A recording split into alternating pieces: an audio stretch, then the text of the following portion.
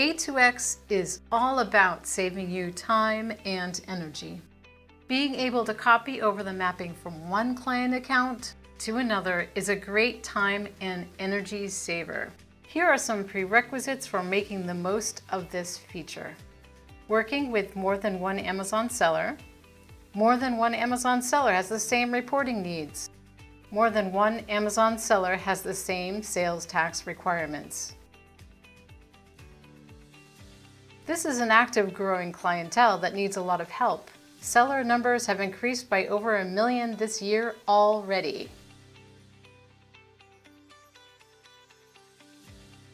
Seller business growth can be exponential and understanding their finances is more essential than ever to driving key business decisions.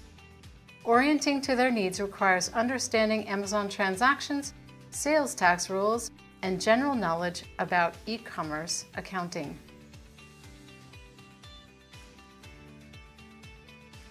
When orienting your services to Amazon sellers, creating a standard chart of accounts to produce reporting relevant to Amazon sellers can save you time onboarding the next client.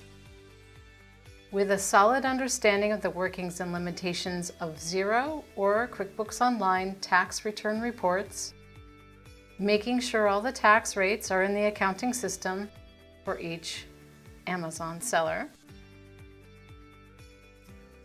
Let's do this.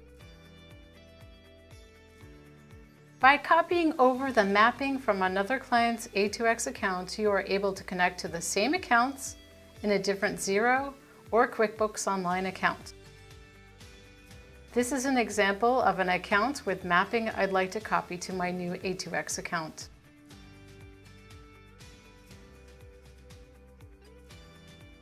First, go to a new account that is ready for accounts and taxes.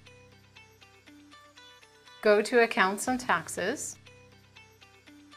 Hit the Reuse a Mapping from a different account and choose an A2X account from the drop-down that has a matching chart of accounts, matching reporting and tax rate requirements, and click Yes. You have only had to map one A2X account with this set of requirements and then you can reuse it over and over.